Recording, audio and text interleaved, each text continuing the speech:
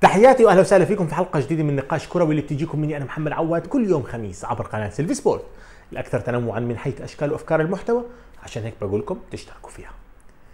لو اجيت سألتك في نهائي اليورو بعد ما تخلص هالبطولة ونشوف إيطاليا وإنجلترا شو حيصير بينهم شو أكثر درس تعلمته أنت من هذه البطولة؟ إيه حتفكر طبعا تطلع بدروس أنا حأحكي لكم الدرس تبعي وأسمع منكم نفس الشيء خلينا نضيف كوبا أمريكا بالسؤال رغم إنه هي أقل متابعة زي ما بنعرف لو في درس تعلمناه في هذه اليورو أنا أعتبره هيك معيار يعني نستخدمه أمام الناس لما نناقشهم. كيف نيجي نقول لهم تعلمنا من اليورو ب 92 و2004 إنه كل شيء ممكن لأنه الدنمارك واليونان جابوا اللقب. إيه، فبنقدر نحكي إنه أهم درس أنا تعلمته اللي هو إنه الفريق أهم من ال quality 100% فكرة الفريق الجماعي المتوازن اللي كل واحد دوره واضح وكل واحد مستعد يلعب عشان اللي جنبه أهم بكثير من تكون عندك جودة عالية للغاية. مثال فرنسا واضح جدا. اللي الأسماء تبعته لما تحطها على الورق صعب تخسر البطولة وصعب تشوفها برا النهائي أصلا. فبالتالي لكن رغم اللي صار هيك بالبطولة كلها قدموا ربع ساعة هون 10 دقائق هون.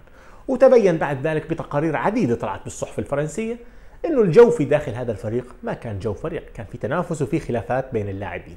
والنتيجة اللي شفناه هذا المنتخب المتآكل. في المقابل إحنا عم نشوف منتخب زي إنجلترا.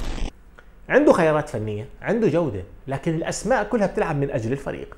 بمن فيهم الاسم الأبرز زي هاري كين عم بنسجم ضمن منظومة فريق الأسماء البديلة. يعني أنت بتيجي تقول هندرسون اللي بليفربول احتياطي للاعب بليدز أو احتياطي للاعب بليستر. عادي عندهم هذا الشيء. فلما خلق الفريق اللي بعيد عن الأسماء اللي بعيد عن المجاملات خلق فريق وصل نهائي اليورو. نفس الشيء إسبانيا اللي هي لعبت كمنظومة كأفراد ثلاثة أربعة منهم احتياطيين في أنديتهم ستة سبعة منهم ما حدش بيعرفهم برا إسبانيا.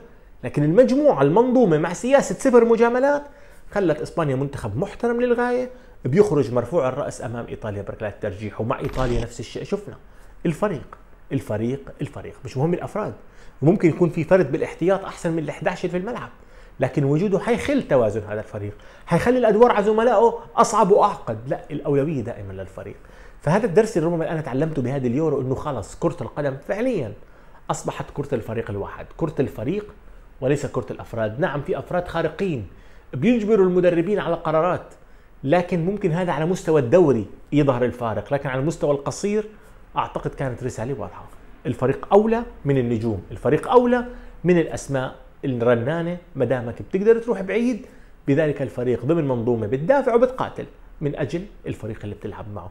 هذا الدرس اللي أنا تعلمته. أنتم بالنسبة لكم شو الدرس اللي تعلمتوه خلال يورو 2020